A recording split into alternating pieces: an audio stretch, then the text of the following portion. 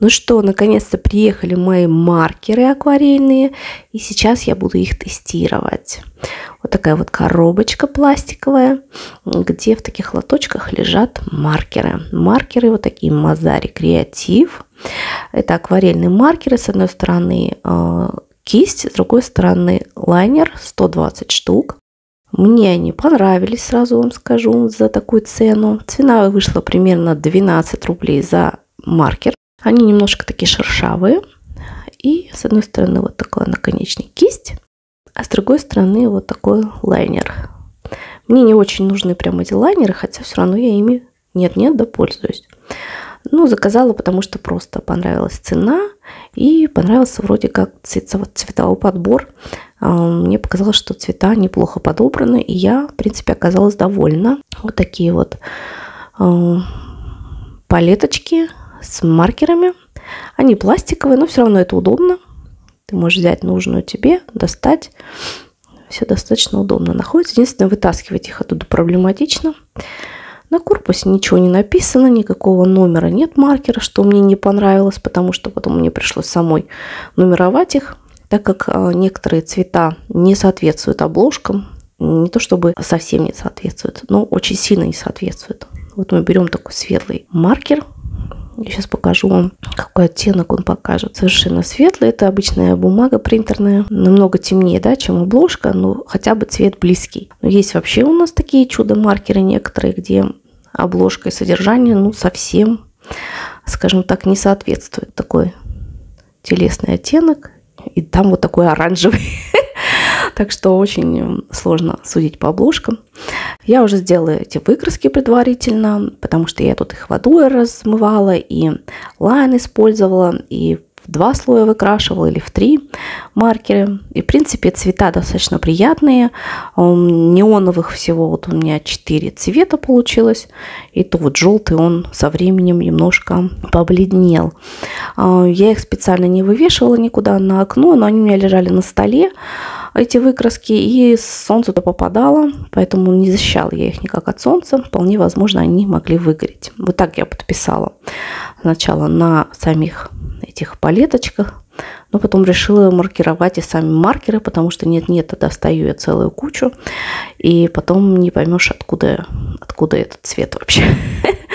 В принципе, они не проходят через бумагу, только там, где я размывала водой, вот цвет прошел. И это бумага для черчения, то есть не очень плотная.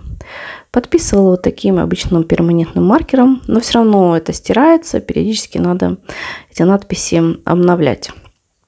Не знаю, может, у меня маркер не очень удачный, э, китайский, и не очень крепко держится. Ну, в принципе, пока мне удобно. Это, конечно, заняло время. Сейчас делаю дополнительную выкраску для того, чтобы сравнить цвета. То есть со временем те, которые у меня лежали, уже готовы выкраски. А, посмотрите, изменились насколько цвета, да, подвыгорели или побледнели. В принципе, маркеры хорошо пишут, очень приятно. Некоторые чуть тверже почему-то наконечники, некоторые более мягкие. Странно, вроде они одинаковые, но вот так себя ведут, скажем, эти наконечники. Ну, я довольна, цвета яркие, можно наслаивать, можно размывать водой. И вот покажу цвета, которые изменились. Не так их много оказалось, но некоторые вот существенно побледнели. Вот 15 насколько он был яркий, какой стал бледный. Естественно, там, где мы размывали водой, там всегда цвет немного бледнеет. Вот эти желтые, 32 неоновый, он вообще пропал практически. И 31 стал намного бледнее.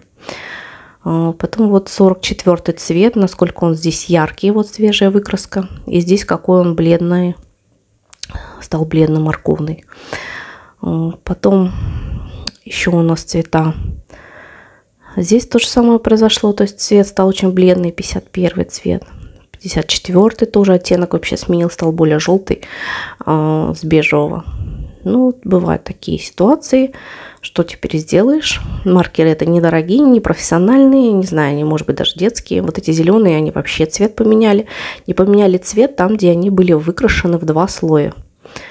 А в один слой они все поменяли свой изначальный цвет, стали какие-то более голубо-зеленые вместо салатовых. Так что, если захотите оставить такой цвет, надо делать в два слоя. Ну и вот этот цвет тоже побледнел, 120. Но, в принципе, для такого количества маркеров косяков немного. Что, приступим к рисованию? Э, рисовать я, естественно, стала э, новогодние открытки. В последнее время мне понесло на иллюстрации какие-то. И вот решила таких э, кроликов которые в разных новогодних ситуациях находятся, рисовать. Рисовала на акварельной бумаге. Где-то я подмываю э, заготовку, где-то не подмываю. Еще, конечно, я в процессе тестирования, и что-то где-то у меня не получилось изначально сделать. Потом я уже больше приспособилась к материалу и стала лучше э, им работать. Это просто кисть резервуаром и я подмываю границы, и получается очень красивая акварельная растяжка. Вообще вот делаю я просто рисунок карандашом, потом клячкой вымакиваю цвет карандаша, чтобы он был бледный-бледный. Тонким лайном, это двойка, обвожу, потом уже работаю с рисунком. И вот на этой последней картинке больше всего мне понравилось, как она получилась, потому что уже как-то лучше я с фоном поработала. Я поняла, что не надо все закрашивать, а надо делать пятнышки потом, когда размываешь белые места, как бы покрываются цветом, и красивый получается ровный фон. Поначалу кажется он все равно пятнистый, но пока высохнет цвет, вот примерно видите, что у меня получилось. Также я работала с елочками. Тоже беру два оттенка, где-то вообще не закрашиваю, где хочу, чтобы светлые места остались. И потом э, вот этой кистью с резервуаром ну, можете обычно взять кисть, намочить ее, я, значит, подмываю маркерные штриховки. В принципе, удобно, мне понравилось. То есть последний рисунок мне показался он самый уже удачный, ну, потому что более-менее набила руку, более-менее поняла, как работать с этим материалом. Ну, еще, конечно, на практике еще больше я смогу понять, как и где мне лучше сделать, потому что страдали у нас на первых рисунках, у меня очень страдала глубина, где-то все было слишком темное, там, где вдали, и, или где-то перетемнила я, или где-то еще что-то не так сделала. Ну, потому что материал, когда новый, ты не совсем понимаешь, как им работать. Больше всего у меня получилось здесь добиться нужного мне эффекта. Здесь я, допустим, взяла светлым красным ввела, оставив белые пятнышки, потом все намочила, и потом лайном темным красным обводила только там, где тень у нас. И благодаря тому, что еще бумага была влажная, этот лайн как бы растекся на всю ягодку и получились очень такие аппетитные ягодки у нас. Ну вот что у меня получилось в итоге с этой картинки. Она самая удачная, потому что последняя уже тут мне нравится фон и вот эти деревья как бы вдалеке, они хорошо получились. Потому что другие картинки мне там кое-что не нравится.